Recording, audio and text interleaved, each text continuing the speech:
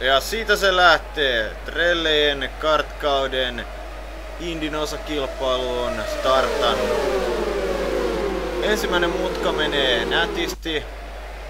Ja autot ajavat todella lähekkäin toisiaan. Täällä siis ajetaan lähes tulkoon kaasupohjassa koko kilpailu. Kärjessä nyt siis Aira Racingin kuljettajat. Seuraavaksi siinä on sitten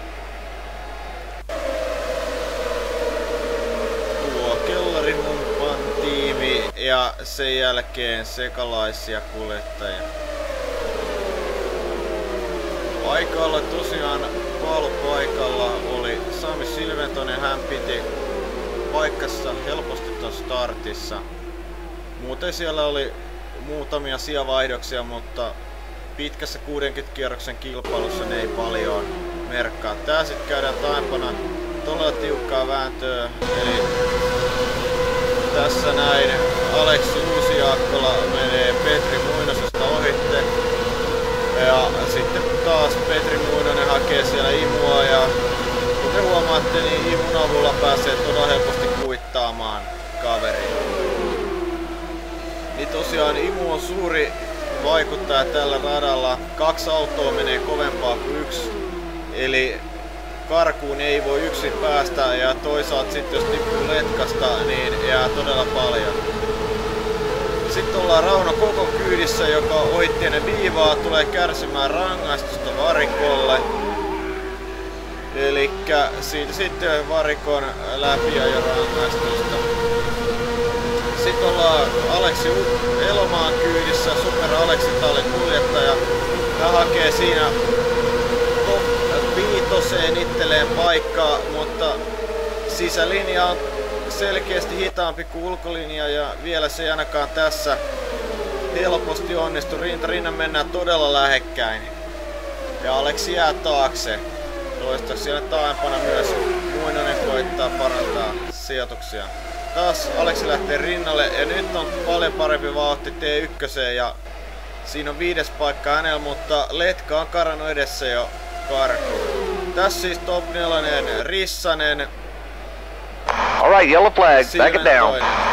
Ja ensimmäinen keltainen lippu tuli vasta kierroksen seitsemän, eli todella hyvin mentiin. Siellä on Aholaakko seinissä keskeyttäneenä. Takarengas puuttuu, eli peli on siinä. Myös Kantokari on näköjään radan varressa. Katsotaan saada kuusintaa, niin nähdään mitä tapahtuu. Eli tässä Ahlaakko auto puskee, osuu seinään.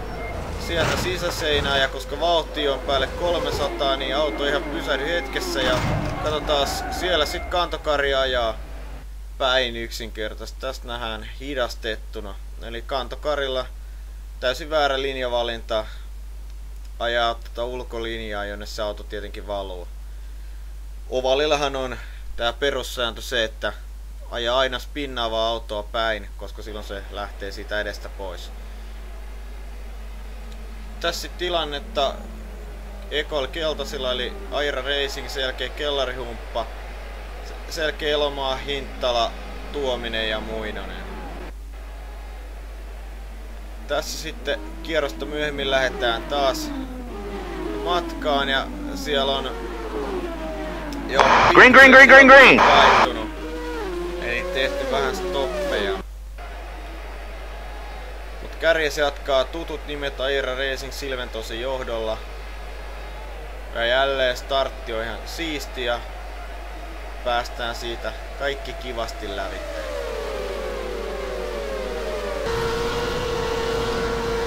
Uusi Jaakkola koittaa täällä päästä kärkeen, siinä meinaa perä vähän karatakin.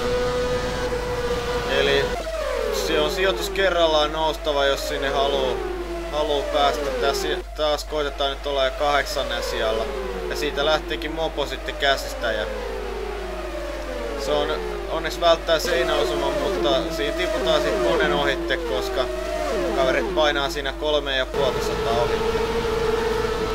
Sitten kierroksella 12 Nakari on seuraava, joka aiheuttaa keltaiset tässä ajamalla lähes tulkoon siis keltaista ajamalla siinä perään.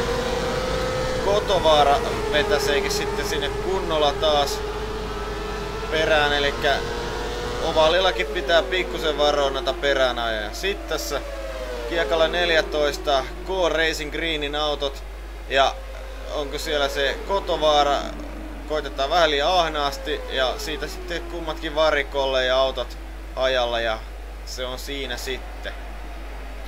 Kuitenkin sieltä lähdetään jatkamaan kylki hieman rutussa ja ei pysy mopo käsissä ja vauhtia on todella vähän, eli ovalilla jokainen pikkunenkin vika autossa vaikuttaa niin paljon, että kisan jatkaminen käy mahdotonta. Siitä sitten tuli taas keltaiset. Ja nyt meni sitten Super Alexi ainoana varikolle tässä vaiheessa jo. Täydellä tankillahan pääsi noin 40 kierrosta, mikäli ajetaan vihreillä. Eli tässä voi vielä olla sellainen riski, että joutuu tekemään toisen stopin. Rasi ajaa täällä ilman keulaa, mutta hänelle ei ole vielä varikko auki, joten hän joutuu odottaa kierroksen myöhemmin.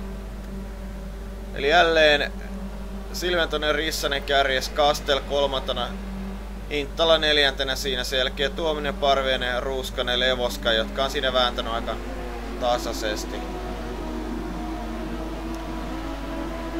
Uusinta startti taas.